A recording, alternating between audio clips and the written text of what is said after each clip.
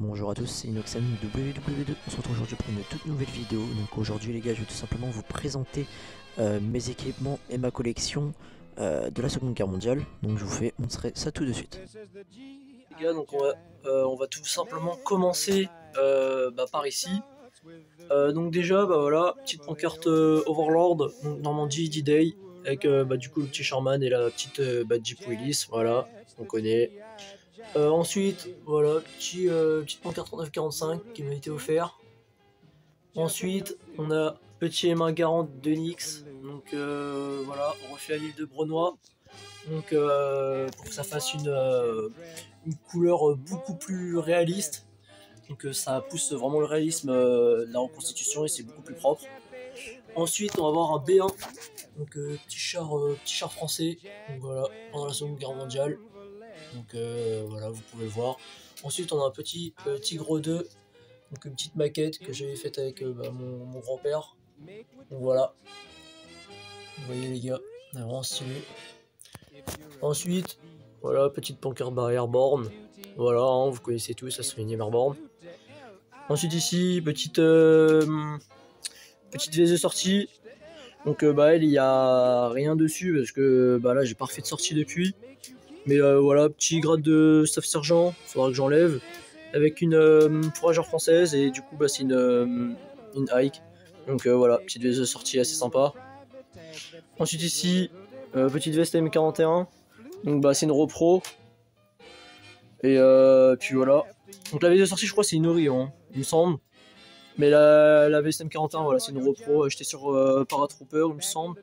Ça fait vraiment longtemps que j'avais fait euh, ces achats. Donc elle me va toujours, mais euh, vraiment, faut pas que je grandisse plus, sinon bah, je, devrais en acheter une autre. Donc voilà, petite VSM 41, donc utilisée pour l'infanterie. ensuite, je vais avoir la VSM 42. Donc voilà, donc bah, pour le Pathfinder. Donc bah, je l'utilisais surtout quand j'étais dans le Kirkpatrick Group. Donc voilà, donc euh, bah patiner. Hein. Euh, là avec de la drabe de la drabe 44. Donc c'est la peinture adéquate pour euh, patiner son uniforme pour la division à laquelle je faisais avant. Donc voilà, donc bah, dans les poches, attendez parce qu'elle était déjà ouverte. Voilà, donc j'ai du blackface. Donc le blackface, les gars, ça, bah, c'est pour vous en mettre au visage. Ou après, vous pouvez vous mettre, vous en mettre avec les, les, pochons des bouteilles là. Donc voilà, petit blackface. Euh, ensuite ici, je crois que c'est un brassard euh, médic, mais c'est pas Seconde Guerre mondiale, mais toujours faire l'affaire. Je crois que c'est Algérie ça. Euh, là on a un sous-casque. là on a un casque infanterie, mais du coup que j'ai refait un peu en para. Mais je pense pour la prochaine fois, je m'achèterai un casque ABL. C'est le plus, c'est plus conseillé pour pour ceux qui veulent pas vraiment payer cher. Donc voilà, petit petit casque infanterie repeint, mais je vais le refaire. Euh, ensuite, ici, on a des petits patchs. Donc, bah, première division d'infanterie. Euh, bah, ça, c'était Fender pour la liste de sortie. 14e Airborne. Et là, c'était le 74e anniversaire du débarquement. Avec un petit, euh, un petit grade donné par un militaire américain en Normandie, ça. Donc voilà, super sympa. Je crois que c'est lieutenant, la barrette. voilà, après, bon, il y a des trucs, c'est pas vraiment dans le décor. C'est des munitions tirées à blanc dans un spectacle. Donc euh, dans le thème de la Seconde Guerre mondiale, c'était vraiment très intéressant. Criquet, vous savez à quoi ça sert hein? Voilà, je peux vous faire un dessin. Euh, la duck tag. Ouais, bah, la, plaque des soldats, hein, quand, s'ils étaient morts euh, sur le champ de bataille, s'ils avaient laissé leur peau, bah, voilà, malheureusement c'était ça qui... C'était ça qui, qui faisait qu'on se souvenait d'eux. Euh, ici, voilà, on a une euh, petite euh, ficelle. Voilà, très sympa. donc ici, les gars, on va avoir un petit ceinturon aimant. Donc tout neuf, je l'ai même pas utilisé encore. Donc très sympa. Donc voilà, donc j'utiliserai pour l'infanterie, pour faire de la première division d'infanterie ou de la quatrième. Ça reste à voir après. Mais voilà, donc là il y a vraiment tout qui est ouvert. Parce que voilà, vous avez vu, j'ai pas mis de cale ou quoi. C'est vraiment tout neuf. Ça m'a été donné par un ancien ami. Ensuite, on va voir euh, le brolage. Donc le brolage, les gars, je vais vraiment vous le mettre par terre. Comme ça, au moins, on va pouvoir le voir et je vais pouvoir vous, décrire un peu tout ce que j'ai dessus. Ça fait vraiment longtemps, les gars, j'ai pas fait de sortie et tout. Donc, euh, bah voilà, quoi. Faut que je reprenne les, habitudes. Parce que je vais essayer de vraiment m'y remettre. Euh, donc voilà. Donc là, bon, ça va être compliqué Donc déjà on va commencer par... Voilà, donc, donc déjà, c'est un... Bah voilà, c'est sur le brûlage, donc euh, ceinture main, donc avec des cales en bois, pour ajouter un peu plus de réalisme. Donc ça fait beaucoup mieux. Donc le brûlage, il est, je l'ai vraiment peint. Donc toutes les références, voilà, si j'en ai pas décrites, je vous les mettrai en description pour les intéresser. Donc ici les gars du coup on aura une bah, on aura un first aid. Donc euh, voilà donc euh, bah, tous les soldats en avaient pratiquement. Donc euh, bah, je, vous, conseille d'en acheter, c'est vraiment pas cher. Ensuite ici on a une housse de pelle, donc housse de pelle pliante. je sais plus, bah après c'est une repro mais je crois que c'est une 43 celle-là. Ça fait vraiment longtemps les gars.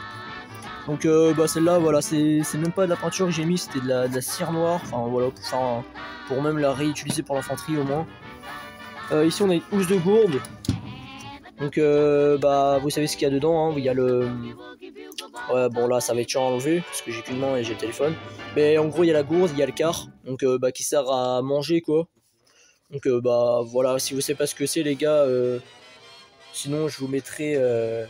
Bah en fait c'est une gourde, voilà, c'est la gourde que tous les soldats avaient, avec le quart. Donc le quart en fait ça, ça vous sert vraiment à, à, manger et puis bah à mettre de la soupe dedans, enfin ce que vous voulez. Euh, ensuite ici, on a le fourreau. Donc là, on a le fourreau avec la baïonnette.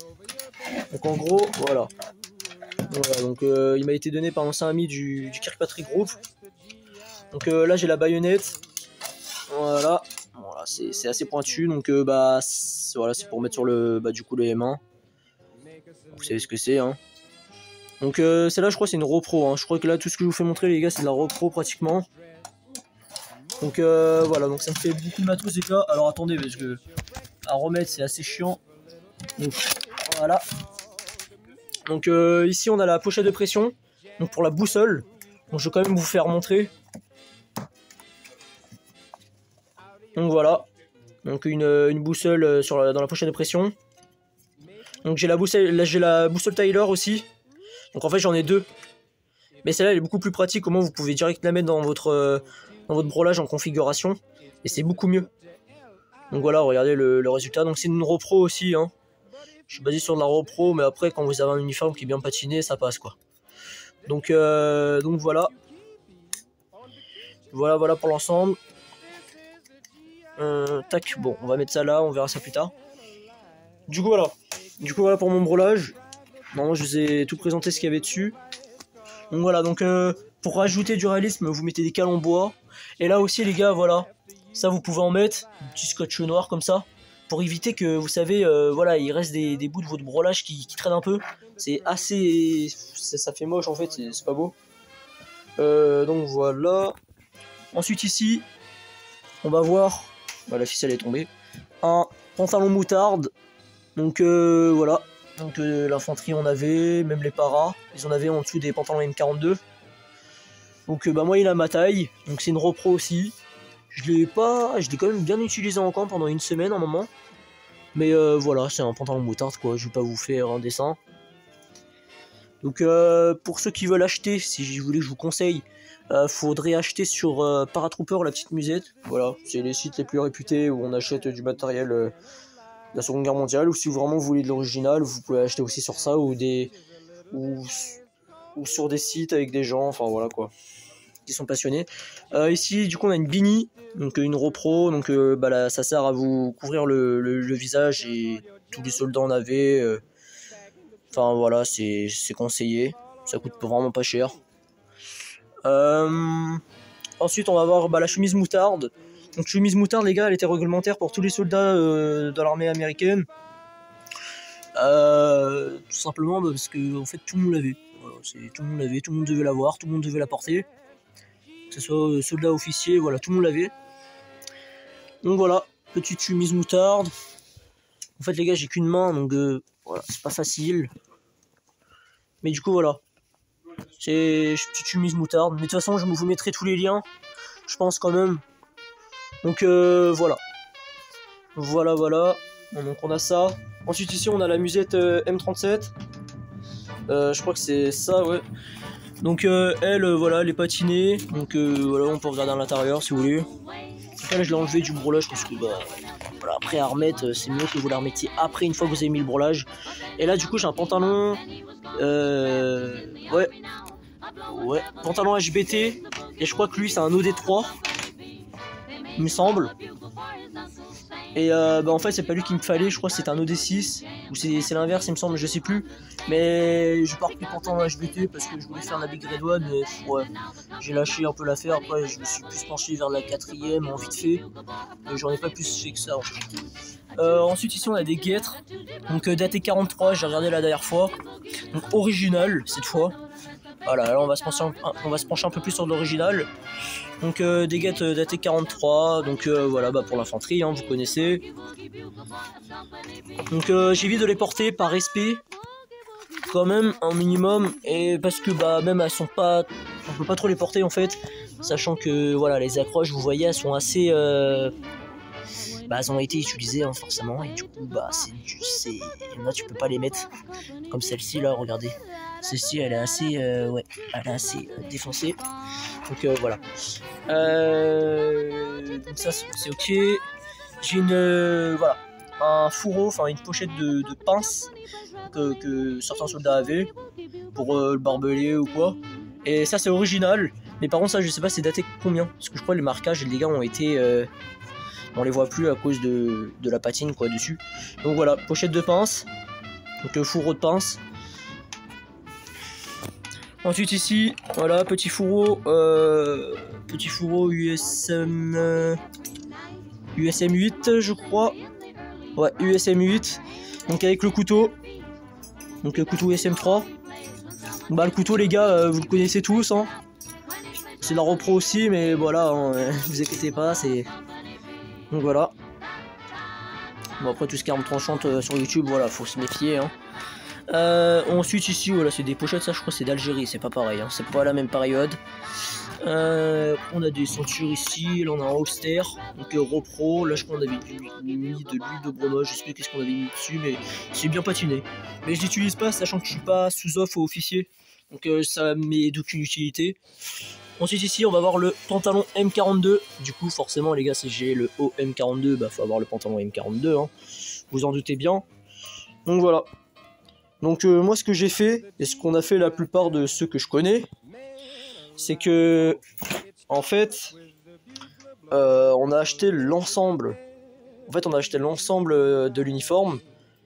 Parce qu'en fait il y en a des fois ils achètent à part. Ça veut dire ils achètent le le OM42 et le bas M42 mais à part. Et nous on a acheté ensemble. Et franchement, il y a tout le monde qui l'a fait craquer à part moi les gars. Sachant que je bouge quand même beaucoup mais tant mieux, tant mieux. Parce que oui, oui, si vous avez un pantalon M42 les gars, je vous assure que ça fait... Euh, ça craque. Euh, ensuite ici, bah du coup voilà, on a euh, la petite housse de masque à gaz. Donc bah, celle-là je l'utilise tout le temps, je l'utilise même en court métrage. Donc voilà, donc vous pouvez bah, vous pouvez l'acheter. Je crois que c'est entre 25 et 35 euros, c'est par là. Moi j'arrondis, hein. je vous laisserai regarder. Et, euh, et, puis voilà quoi. Voilà, voilà, voilà. Petite housse de masque à gaz.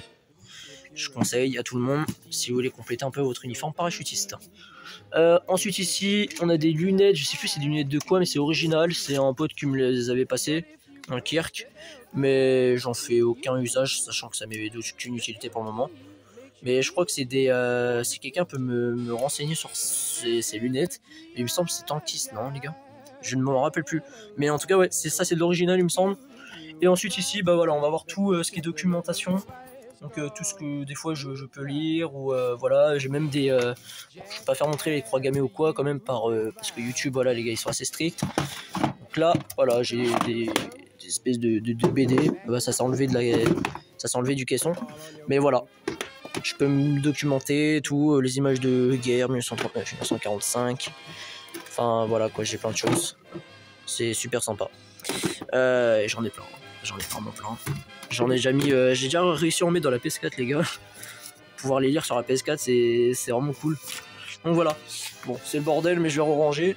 et je crois que j'ai oublié aussi, on a le sac de démolition.